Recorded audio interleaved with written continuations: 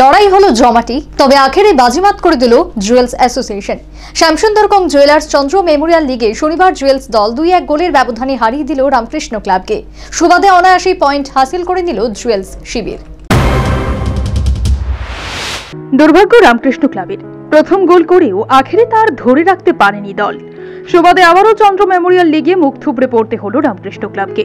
শনিবার উমাকান্ত ময়দানে ঘটল এই ঘটনা। প্রতিপক্ষ জুয়েলস অ্যাসোসিয়েশন দুই এক গোলের ব্যবধানে হারিয়ে দিল রামকৃষ্ণ ক্লাবকে। ম্যাচের শুরুটা যদিও সেই মানের হয়নি।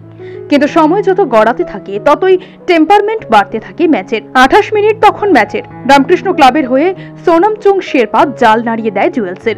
গোলটা হজম করে পাল্টা তা পরিশোধ করার লক্ষ্যে একের পর এক কাউন্টার অ্যাটাক সাজাতে থাকে জুয়েলস।